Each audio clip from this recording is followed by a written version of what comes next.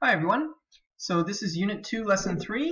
Uh, we're going to be looking at word problems that involve many of the concepts we've used so far. So things like slope, midpoint, and distance. So learning goal seems pretty simple. Solve problems using midpoint, slope, and distance formulas, as well as some other facts about uh, lines and triangles that you already know. Okay, so this is where things start to get a little bit more difficult. Um, you might have seen this or had a hint of this already in the first lesson in this unit when you had to do those questions that involve perpendicular bisectors. Um, that question takes a bit of thinking and a bit of analysis, um, but you are going to start to see now that it becomes difficult to just memorize all the different strategies that you can use to solve these specific problems uh, because there are a lot of them. So rather than memorize strategies, this is where you have to start to try to build strategies yourself. And so you've got to think about the things that we've covered in the last couple lessons as being sort of like tools in a toolkit. And your job is going to be to look at a problem, come up with a strategy to solve it on your own, and then start picking out the tools that you have to do the job. So if you look at the problem, you should think, okay, well, I could use this tool there, and I can use that tool there. And you start to develop your own strategy. So this is one of the more difficult things to do in math, right? It's not as simple as just calculating something. You got to think about how to solve a problem. So let's look at the tools that you have so far because this is what you're going to be using to solve the problems in this lesson. So you have your slope formula, you have your midpoint formula, you have your distance formula, you know some properties of lines, you know hopefully that parallel lines have the same slope as each other, um, if you have perpendicular lines, their slopes are negative reciprocals, right? So for example, if one is 3 over 4, the other one will be negative 4 over 3. You know that the equation of a line has fits y equals mx plus b. Something else I should have included in here, you also know c squared equals a squared plus b squared. Um, so that's going to be important as well. So these are tools you're going to have to use um, in developing strategies to solve a problem. So we'll start with an easier problem. Example 1. Um, a provincial park uses an XY plane system to identify locations in the park. So they have like a grid, and each location in the park has a set of coordinates.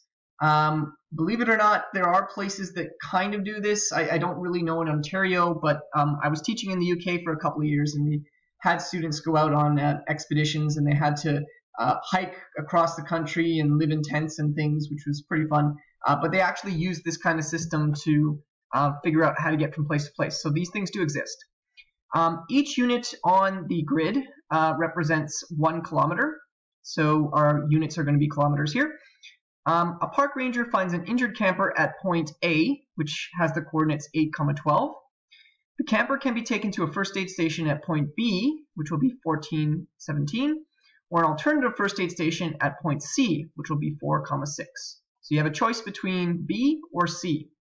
So assuming you could take them to either location and it's a straight line and it's about equal difficulty to go from one to, to one or the other, which first station, first aid station should they go to? Okay, so this is what the problem would look like if you plotted it out. So the two of them are at A, and they could go to the first aid station B, or they could go to the first aid station C. So which one should they go to? Uh, so here's the answer. Um, ideally, they should go to to the one that's closer to them, right? So that's going to be the shortest distance. And you already know how to find distance. We have in our toolkit the distance formula. So all we're going to have to do here is find the distance from A to B, find the distance from A to C, and see which one's shorter. Whichever one's shorter, that's the one we want to go to. So we have our distance formula. And so I'm going to calculate the distance between A and C. So we have uh, x 2, which I'm going to consider to be 8. Uh, so that would mean if x2 is 8, y2 is 12, which would mean x1 is 4 and y1 is 6. So we plug all of those things into our formula. Um, not too much to say here. Do brackets first, so then we get a number inside each bracket. We square each bracket, um, so that 4 squared is 16, 6 squared is 36. Since these are both under the square root, we add these first. You get the square root of 52. So you could leave this as square root of 52 kilometers, but it might be hard to make a comparison with some other numbers sometimes. Plus, if you're dealing with things in the real world, you're probably never going to tell somebody it's uh, root 52 kilometers to a place, you'll, you'll probably want an approximation. So this symbol, if you can recall, means approximation. So it's approximately 7.2 kilometers, right? The square root of 52 is not exactly 7.2. Um, we have to round it because it's in an irrational number. Okay, so we calculate the distance between AC. We then calculate the distance between AB, and we find that that distance is slightly longer. So then we can conclude that therefore the ranger and the camper should go to the first aid station at point C, as it is closer to their location by approximately 0.6 kilometers, right? This one's 7.2, this one's 7.8. So that's 600 meters less traveling, which might not seem like much, but if you're injured, um, it might be uh, much better to not have to travel that last 600 meters. Okay, so that's the first question. Second question is a bit more tricky. We have the vertices of some triangle ABC. So the points are going to be A, B, and C, right? The vertices or points are A, B, C. You have A at 5, comma 5, B at negative 3, negative 1, C at 1, negative 3. Okay, so I have a picture of that here for you. Um, if you don't have a picture, I highly recommend that you draw these pictures um, whenever you have this kind of problem. I'll give you part marks for having a drawing that's correct or mostly correct. Um, and to be honest, it's just, it makes your thinking that much easier because it can be difficult to see what to do when you have something written down like this. Once you see it as a picture, coming up with a strategy gets a little bit easier. Okay, so we actually have two ways in our toolkit, um, at least, that we can solve this problem. So I'm going to go over two different ways. We have to figure out if this is a right triangle. And you can probably see by our picture that if this is a right triangle, our right angle will be right in there. Um, that looks like it may or may not be a right angle. So one of the ways you can do this is you can use slopes. Right? We know that the slopes of perpendicular lines are negative reciprocals of each other.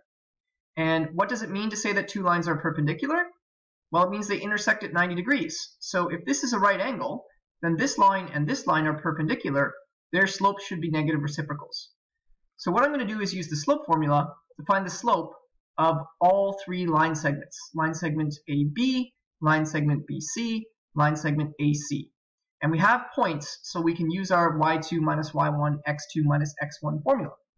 So for AB, for example, for AB, uh, we could say that this uh, is going to be um, x1 and y1, and this will be x2 and y2. We plug those into the formula, and we are able to calculate our slope, which ends up being 3 out of 4. Okay, that we don't expect that number to help us very much because the right angle is here, but I'm just going to calculate it anyway. Okay, same thing for BC. BC, we're going to make uh, the y2 value equal to negative 3, which will mean that y1 is negative 1, x2 is 1, and x1 is negative 3. So again, it, it, I should probably clarify, it doesn't matter which one of these two you make x1 or x2, but once you've made your choice, then your y values become fixed. In other words, if this is x1, then this must be y1. If this is x2, then this must be y2. So once you've chosen your x, your y follows along with it. All right, so we calculate the slope of BC, and we get negative half. We're going to do the same thing for AC. So again, we have our two points, which we plug into our slope formula. And after we run that calculation, we get the slope simplifies to 2 over 1. Right, the two negatives cancel here. So you get 2 over 1, and you can clearly see that 2 over 1 is definitely the negative reciprocal of negative 1 over 2. It's the number flipped around, and then the sign is opposite. So yes, these two lines are perpendicular, which means that the slopes are, per, uh, which means that these, um, sorry, these two lines are definitely perpendicular because their slopes are negative reciprocals. And so that definitely means we have a right angle here. So we can conclude that yes, this is a right angle triangle. There's another way we can do this problem, um, and we can use the Pythagorean theorem, c squared equals a squared plus b squared, um, as well as our understanding of um, length, right, the distance formula. So in this version of the solution, you just calculate the length of each side of the triangle. So you get the length of AB, the length of BC, the length of AC, um, and that's going to be important in the next unit, being able to figure out the length of all the sides. Um, and if it is a right angle triangle, then we know that this side squared plus this side squared should equal this side squared. So we can calculate all the sides and then see if that relationship is true. Is it actually true that this squared plus this squared equals that squared? So that's all we've done here. I've calculated the lengths of all three sides using the distance formula. So again, be careful about your x1, x2. Um, I'm going to go through this relatively quickly here. You can check the calculations yourself. Uh, but the distance or length, we can say, of AB is going to be 10. The length of BC is going to be square root of 20. Right, um, I, will just leave it square root of 20. This is not a problem where I need to give a distance in kilometers, so I'll leave it in its simplest, uh, its most accurate form, root 20. And DC, D for AC is going to be root 80. Okay, so we've calculated the lengths of all the sides. Uh, we know that AB is the longest side. You can kind of see that just by looking here. So if this is a right triangle, this will be the hypotenuse. So let's just see if we calculate b squared plus a squared, uh, sorry, bc squared plus ac squared, if I get these two shorter sides squared and add them together, do I actually get 10? So we do that calculation, and it turns out that yes, when you do this, uh, you get 10, because when you square a number that's a square root, basically that's just the same as getting rid of the square root, right? A, a square and a square root undo each other if you like. Um, 8 squared is 64. Square root of 64 takes you back to 8. So if you have both of them, they cancel each other out.